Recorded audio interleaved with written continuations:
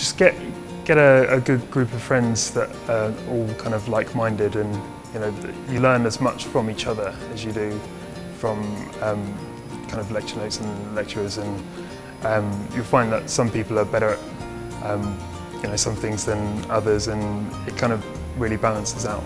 If you can come in, show you're very um, you're very excited about the course, you, your willingness to be there, your willingness to learn, I guess.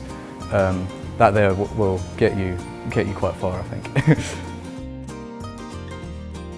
My name's Sam Hobbs. My name is Sam Laporte. And I'm studying Civil Engineering Masters with placement year. And I'm studying a, a degree in Civil Engineering and an MEng degree. I did a placement year with Tony Gee and Partners, um, who are a medium-sized uh, civil engineering consultancy um, based in the London area.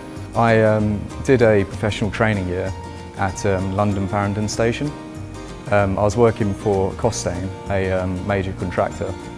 Um, the project basically, um, it was part of the Thameslink project. I worked on Blackfriars Bridge um, in London and uh, I also did some site work inspecting London underground tunnels and bits and pieces as well. So I had a, a very good kind of mixed approach with some design work and some, some site work. I thoroughly enjoyed the, the year.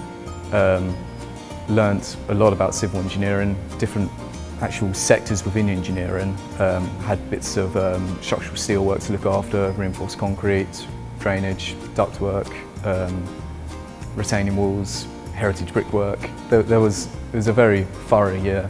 Um, it really grounds your, your knowledge um, and kind of motivates you to learn more because you see the application of it straight away.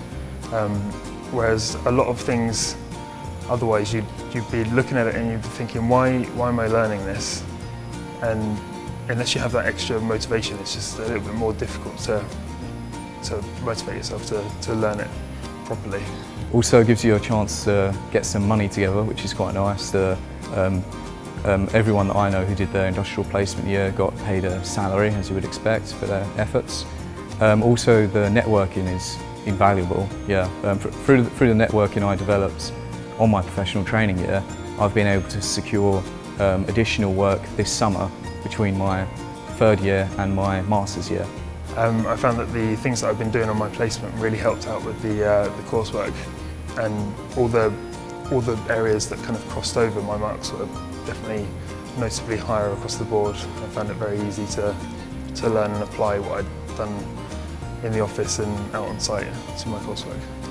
Um, well, I've got a, a, job lined up with the, uh, the company that sponsored me through my professional training. Um, so I'm going to go and work for them in the geotechnical department, which is um, exactly where I want to be. I think it'll be really interesting. There's um, still a lot more to learn in that area, so I think it'll keep me enthused for a lot of time. You're not just like a, a number and you get lost in the system. They, you, you know all your lecturers by first name terms and you can go to them for help and guidance whenever, which really helps. Top tips for people willing to study at University of Surrey um, would be to actually do their homework, research um, is this the right university for them in a way. Um, they actually need to um, perhaps go through, um, spend a bit of time actually absorbing the different resources that they can get their hands on. Um, come to the open days. If you are invited for an interview, definitely come to the open days because there's a lot more information which can be absorbed there.